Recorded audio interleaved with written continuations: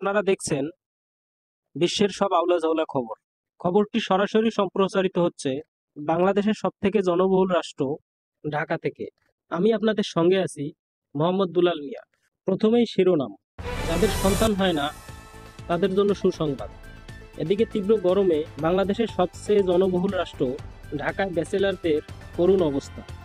এদিকে শশা বিক্রেতা ক্রেতার আক্রমণের ভয়ে আতঙ্ক হয়ে এক হাজার ষাট ডিগ্রি জ্বরে আক্রান্ত।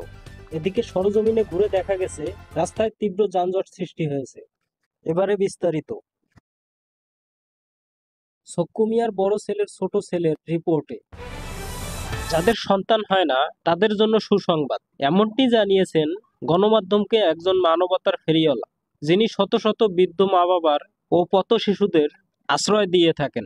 তিনি আর কেউ নয় আমাদের সকলের পরিচিত মিল্টন চামাদ্দার তিনি এ মন্তব্য করে বলেন, ঘরে কোনো বৃদ্ধ ব্যক্তি থাকলে দ্রুত সন্তান লাভ করা যায়।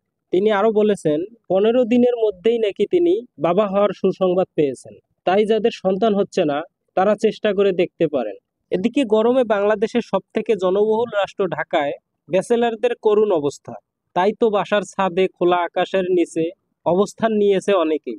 এমনকি লেখাপড়া এবং খাবার ব্যবস্থা করে নিয়েছেন ছাদেই অন্যদিকে এক রুমেই থাকে আট জন। তার মধ্যে আবার ফ্যান নষ্ট। কেউ কি আছে এই ব্যাচেলার যোদ্ধাদের কষ্ট বোঝার? এদিকে শশা বিক্রেতা ক্রেতার আক্রমণের ভয়ে আতঙ্ক হয়ে এক হাজার ষাট ডিগ্রি জ্বরে আক্রান্ত। সরজমিনে ভিডিও চিত্র সহ তুলে আনা হয়েছে। জানা গেছে তাকে উন্নত চিকিৎসার জন্য বাংলাদেশের সব থেকে জনবহুল রাষ্ট্র ঢাকায় একটি ঠেলাগাড়িতে করে হস্তান্তর করা হয়। এদিকে সরজমিনে ঘুরে দেখা গেছে, রাস্তায় তীব্র যানজট সৃষ্টি হয়েছে। তাই ভোগান্তিতে পড়েছে সাধারণ মানুষ।